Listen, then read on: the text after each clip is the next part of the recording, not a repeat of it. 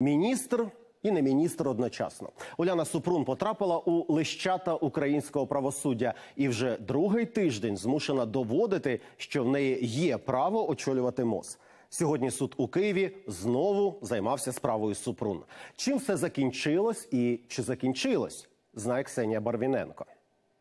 На підході до окружного адмінсуду одразу два мітинги. Один, де здебільшого молодь, з плакатами чекають на Уляну Супрун, аби підтримати. Інші зустрічають ВО міністра вигуками «Ганьба». Сама очільниця МОЗу до суду прямує в гарному настрої і разом з колегами одразу дає брифінг. На головне питання, чи має подвійне громадянство, відповідає коротко і ухильно. Я громадянка України! Слава Україні! Криками ганьба зустрічають і позивача народного депутата від радикальної партії Ігоря Мосійчука. Нардеп нічого не коментує і одразу йде до зали в супроводі активістів. А от Уляна Супрун до суду не заходить, а повертається у міністерство підписувати документи. Тим часом охочі взяти участь у засіданні не можуть втиснутися в приміщенні. Активісти, чиновники, депутати до маленької зали частина журналістів потрапити вже не може. Та сам суд виявився коротшим за прелюдію. Засідання закінчується, навіть не розпочавшись. Суддя Сергій Каркашян заявляє про самовідвід і йде до нарадчої кімнати.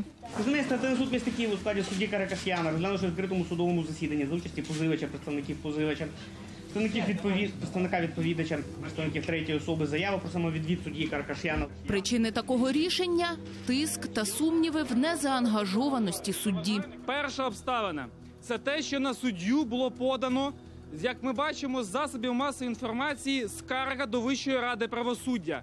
Суддя розцінив таке звернення виключно як тиск. І друга обставина це те, що коли він вирішував ухвалу про скасування заходів забезпечення позову, він змушений був дати оцінку певним доказам, які вже стосуються безпосередньо розгляду справи по суті.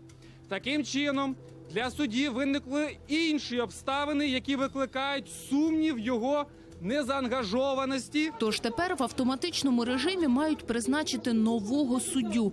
А Уляна Супрун поки залишається очільницею МОЗ. Напередодні суд скасував свою ж заборону щодо виконання нею повноважень міністра.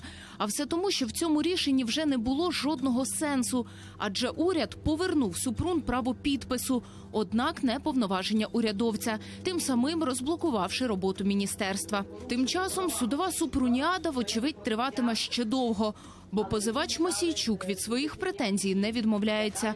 В суді хоче дізнатися, чи справді Уляна Супрун відмовилася від американського паспорта, і чи законно те, що більше двох років Міністерство охорони здоров'я очолює не міністр, а урядник з префіксом ВО.